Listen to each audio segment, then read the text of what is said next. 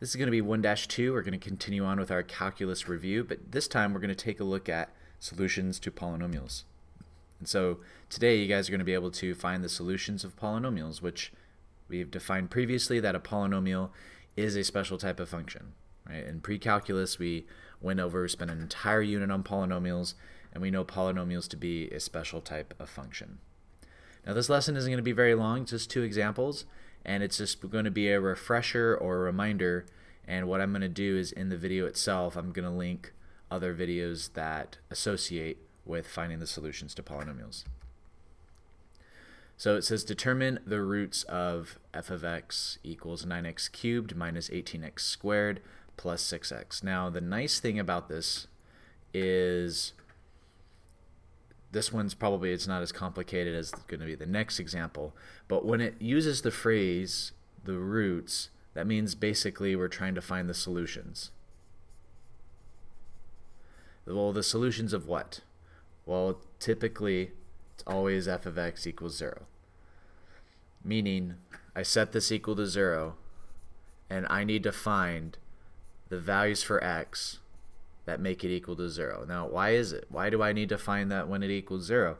Well, we want to know where it crosses the x-axis. That's kind of like the practice. We want to find where it crosses the x-axis. Well, in this instance, my y is 0. That's the x-axis. So when we're trying to find the solutions to a polynomial, we should always check to see if we can factor it first. And so in this instance, when we're trying to factor, we look, hey, is there a GCF? Is there something in common?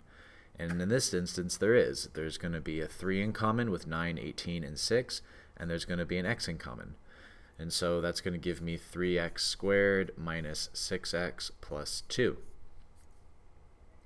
Then from here, this is where I can go through and say, well, uh, does it follow that typical quadratic trinomial pattern, and it does. It's quadratic, and it's a trinomial. And so we multiply a times c together, which is going to give me 6. And so I need to see how does a times c, does that add up to b? Does a times c 6? How, how can I factor this?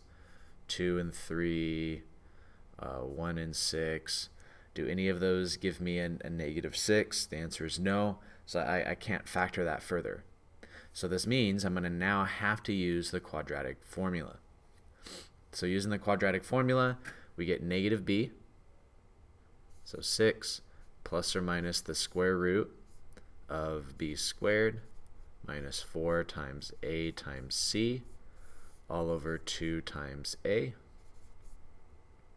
And so I get 6 plus or minus the square root of 36, and it looks like 12 minus 24 all over 6, which is 6 plus or minus the square root of 12 over 6. 6 plus or minus the root 12, that breaks into 4 and 3, so that's going to be 2 root 3. And there's a 2 in common that can factor out. So 2, 3 plus or minus root 3 all over, we'll say 2 times 3. And so my roots there, I get 3 plus or minus root 3 all over 3. So I have those roots there. That corresponded to this part right here. What about this? This 3x. Well, I can take that, I can set that equal to 0 and solve, and so I get x equals 0. And so my roots are going to be 0, 3 plus root 3 over 3, and 3 minus root 3 over 3. So those are going to be my roots. Now if you wanted to write these combined together, that's okay. Now our next one here, finding the solutions to this one, well, look for GCF. Was there something in common?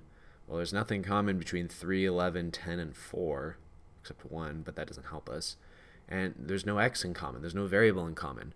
So this is where we do the p's over q's.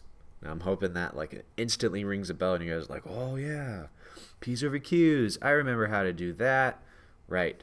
So in this instance here, my P's are your factors of this number. So my possible P's are going to be 1, 2, and 4. And your Q's are the factors of that number, which are going to be 1 and 3. And so we have all the possible combinations. 1 over 1, 2 over 1, 4 over 1, and then 1 over 3, 2 over 3,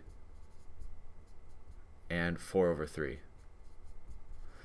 So now I need to go through and I need to test these using synthetic division. So 1, I put the 3, negative 11. I don't have an x squared, so I need to put a placeholder there.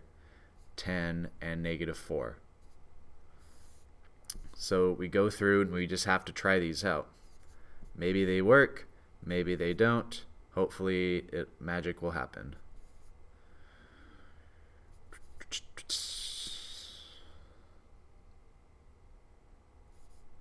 Okay, that doesn't work.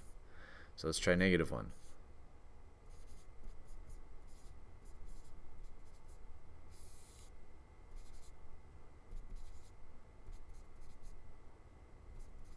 Okay, it doesn't look like, well, maybe. Negative 14, negative 4. Oh, it did work. Yay. All right. So we know that negative 1 worked. This is my reduced polynomial right here. This is my constant x, x squared, x cubed. So now I need to try and see does that break down further. Well, let's try negative 1 still. 3, negative 14, 14, and negative 4. Because we don't know. There, there could be multiplicity. So bringing down the 3, multiply, add, multiply. Okay, that doesn't look like it's going to work. Okay, so there's no more negative 1s. So now let's try positive 2.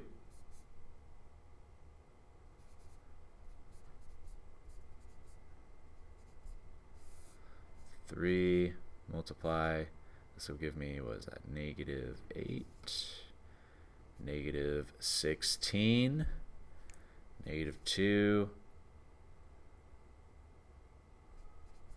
Oh. I feel like that was like so close. Let's try negative 2.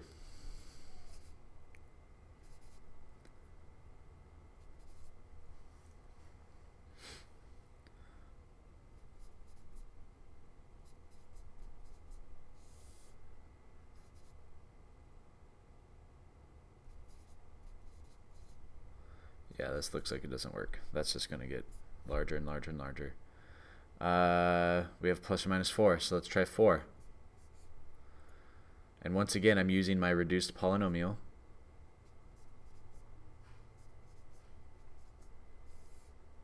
Bring down the 3, multiply, add, multiply.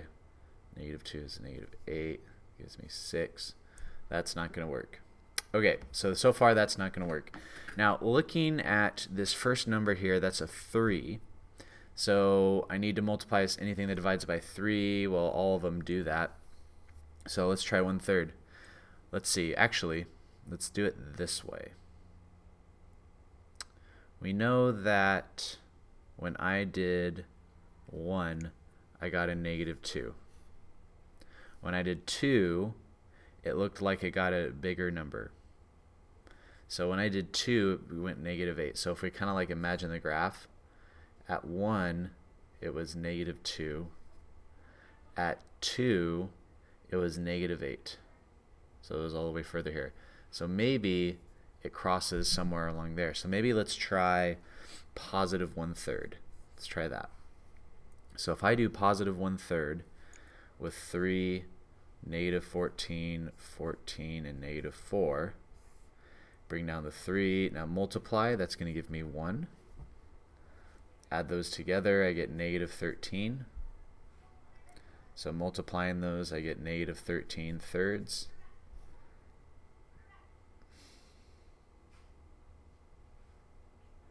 That doesn't look like it's going to work out nicely. Let's try negative one third.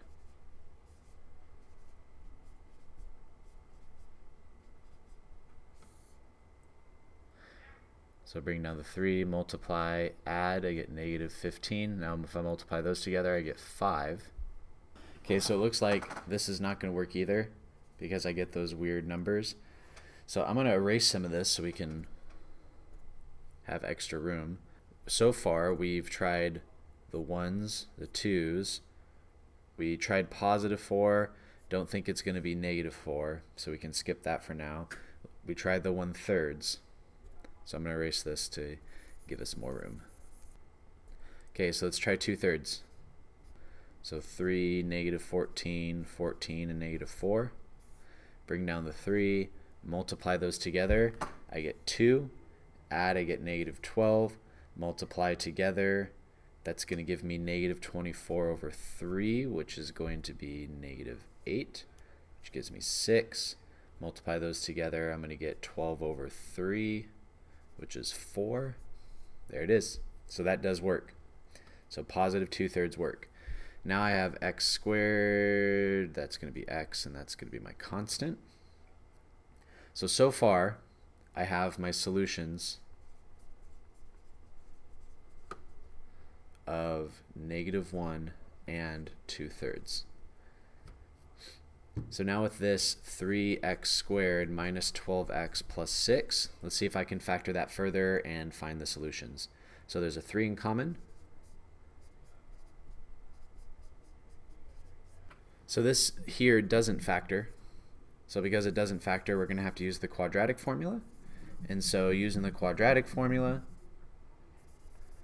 Remember that's negative b plus or minus the square root of b squared minus 4ac.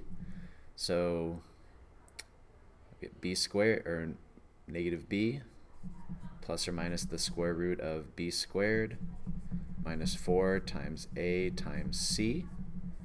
That's all over 2 times a. And so 144 minus 4 times 3 times 6 so I'll enter that in the calculator. That gives me 72. That's all over 6. Well, 72 is 36 and 2, so that'll be 6 root 2. So 12 plus or minus 6 root 2 all over 6. There's a 6 in common. So 2 plus or minus root 2. So those are going to be my solutions. My solutions are going to be negative 1, 2 thirds, 2 plus root 2, and 2 minus root 2. And those are going to be the solutions to my polynomial here. Now this one was a little bit longer. This one was a little bit more difficult. We had to use the rational roots theorem, which is the p's over q's, to find the initial values. And then once we broke down our polynomial, we were able to use uh, into a quadratic equation. We were able to use our ways to solve quadratic equations, which happens to be using the quadratic formula.